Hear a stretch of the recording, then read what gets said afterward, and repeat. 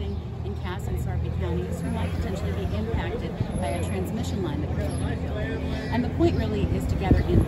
on all the feedback that we can get so that we're informed when we route this transmission line.